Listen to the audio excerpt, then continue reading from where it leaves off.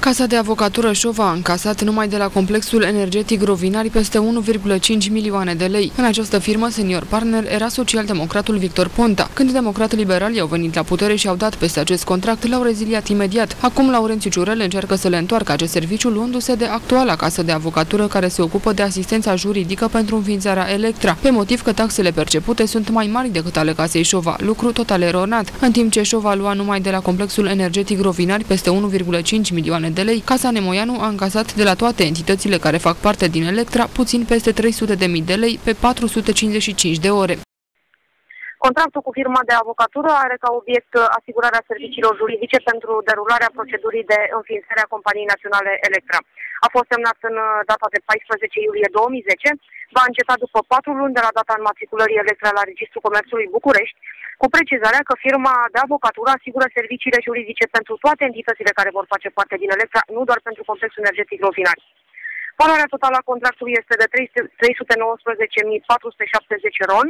Este vorba de un număr de 455 de ore la prețul de 702,83 ron. Atacurile lui Ciurel se îndreaptă și de această dată către Ionel Manțog, fostul director al complexului energetic Rovinari, fiind sigur că firma Nemoianu este apropiată a Partidului Democrat Liberal, în special a lui Manțog să vedeți noastră care este legătura dintre domnul Nemoianu, tatăl celor două juriste care fac asistență juridică la toate companiile astea, și domnul Mansoc.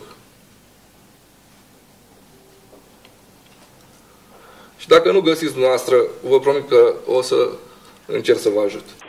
Nu cunosc nici casa de avocatură, nici proprietarii sau lucrătorii de acolo. Directorul economic al complexului energetic Turcen este convins că aceste atacuri vin din partea unei grupări din care fac parte social-democrați și democrat liberali, care vor să-l denigreze și folosesc drept portavoce, în acest caz, pe Laurențiu Ciurel. Această grupare, care are ceva rulețe și timp PDL, care mai are și pe la PSD mai multe, mult mai multe, dar care are destul de multe și în alte structuri ale județului Gorj, pentru că nu pot vorbi în nume propriu, să folosesc de trompetele de la PSD, gen uh, Ciurel, gen Popeanga. Firma Nemoianu, care se ocupă de asistența juridică a celor opt entități care vor face parte din Electra, a fost aleasă de Ministerul Economiei.